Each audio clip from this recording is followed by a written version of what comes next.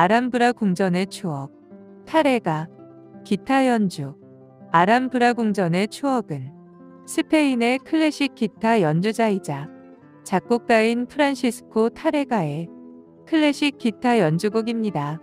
이 곡은 스페인 낭만주의 음악의 꽃이라고 평가받으며 타레가가 발전시킨 독특한 트레몰로 주법이 자아내는 신비로움과 서정적인 선율의 애절함이 일품이라고 볼 수 있습니다.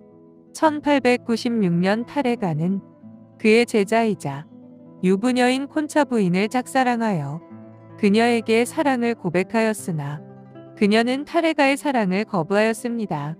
시레에 빠진 타레가는 스페인을 여행하다가 그라나다에 위치한 아람브라 궁전을 가게 되고 이 궁전의 아름다움에 취하여 이 곡을 쓰게 되었다는 전설적인 이야기가 전해져 옵니다. 이 곡은 클래식 기타 매니아뿐 아니라 일반인들도 이 곡을 모르는 사람이 없을 정도로 상당한 인지도를 자랑합니다. 트레몰로 하면 클래식 기타 매니아들은 10중 8구 이 곡을 떠올릴 정도라고 합니다. 상당한 인지도에 비해 곡의 난이도는 대중적이지 않은 것이 흠이라면 흠입니다. 트레몰로 주법을 익히는데 최소 1 내지 2년 이상의 숙련도가 필요하기 때문입니다. 아람브라 궁전의 추억, 기타 연주 잘 감상해 보시기 바랍니다.